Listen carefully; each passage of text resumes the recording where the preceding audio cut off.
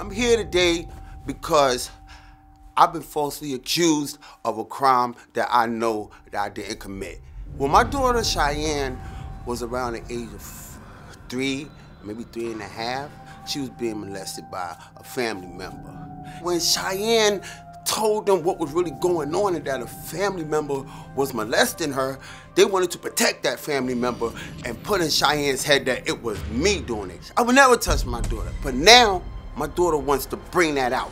My daughter looking for closure, and, and everybody involved won't show up. They won't come to clear their name because they know they're guilty. I haven't seen my daughter in over 15 years. I couldn't be there then, but I'm here now.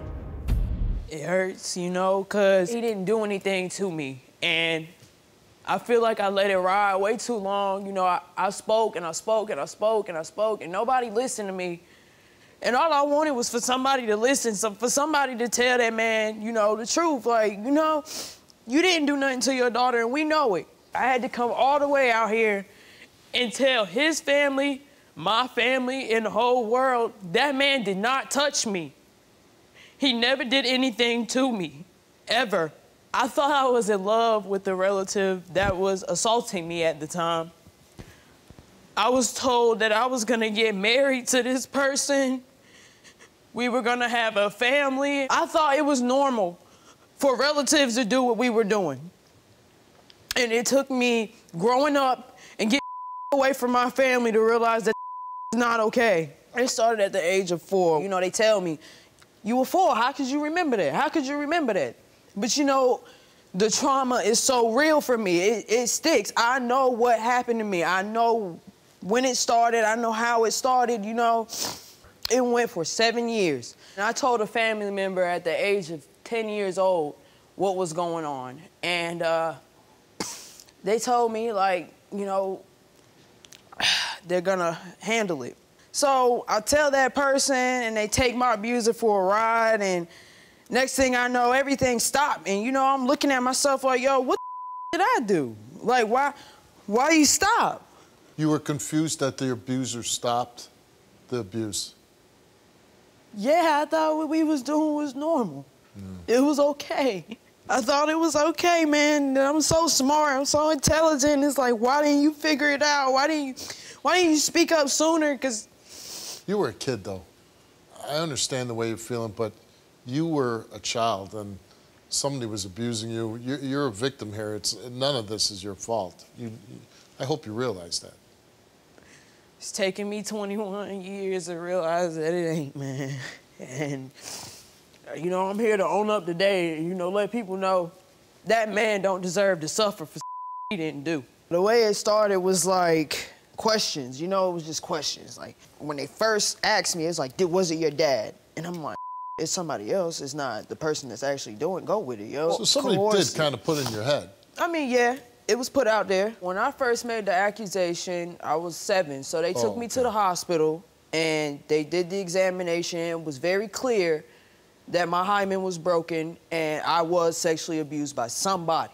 I guess my abuser thought, like, she already said it was her dad, I'm in the clear. So it just kept going because at that point, I'm accustomed to it, I'm used to it, and I'm going along with it. I'm thinking, you know, like, like So we- we after in. you said that you, it was your dad, what happened to your dad? I remember signing some papers with some social workers, and I was told by a family member that that meant my dad could never come to South Carolina and see me again, and, and that was that. Daddy can't come home because of what I said. And you know, at the time, I was so wrapped up in that other person, like I didn't even care. I'm like, whatever. So when you confided to family members that it was actually this person, was anything done? Any authorities called? No, no, not at all. I have to see this person at family events. I have to see this person a lot in my family because you're always a close family member. So How hard is that for you? it's excruciating because, you know, I don't want to be, you know, a negative burden on the events and stuff. You know, I don't want to cause drama and stuff. So, you know, I just, you know, I try to let them hug me, but, you know, deep down, I just want to scream. Like, I just want to ask him so many questions. And it's like, I know he's never going to tell me. I know he's never gonna have the balls to look at me and, and be real.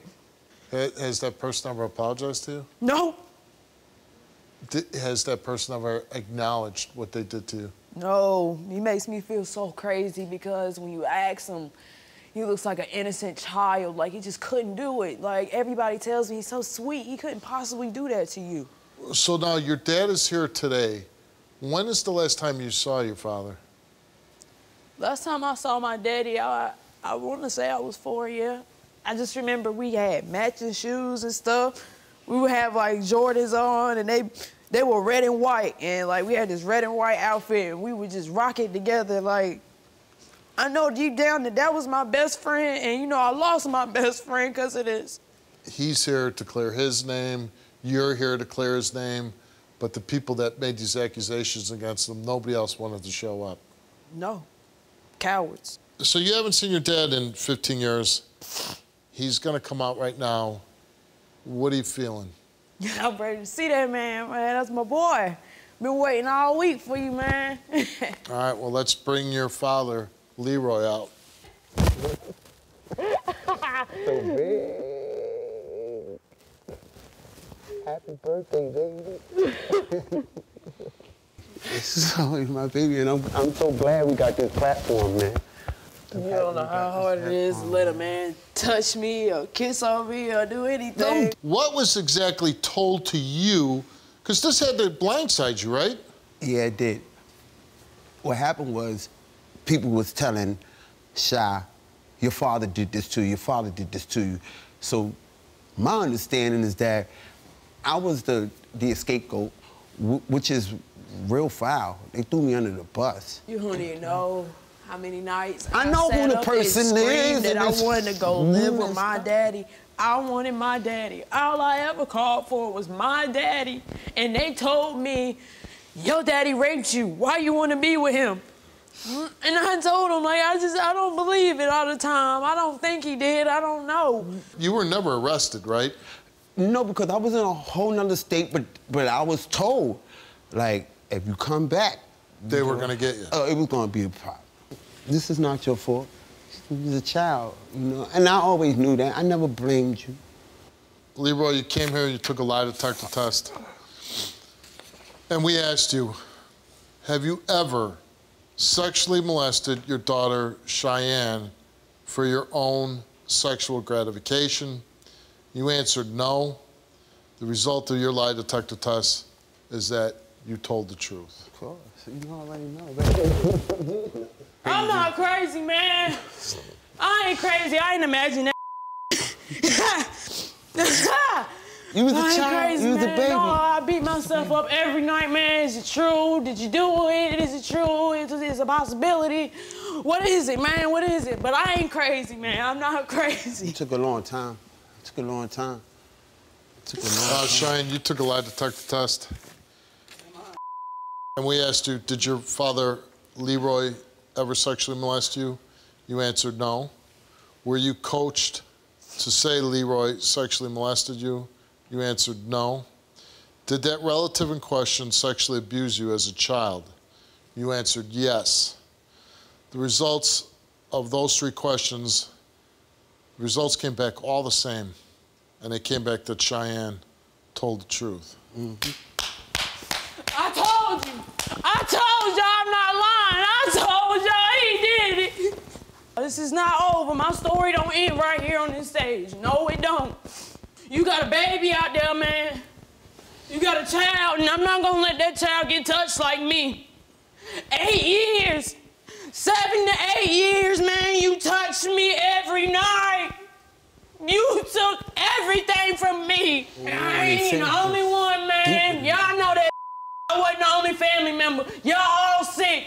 That whole family sick. And that other family member that got hurt, y'all need to get him some help too. That's real. Y'all need help. Y'all caught him in the act. Y'all knew better. We're going to see the family. My whole, the whole side of my family never seen her. Beautiful. So I don't call everybody like Cheyanne coming through, Shy coming. They, they all waiting right now.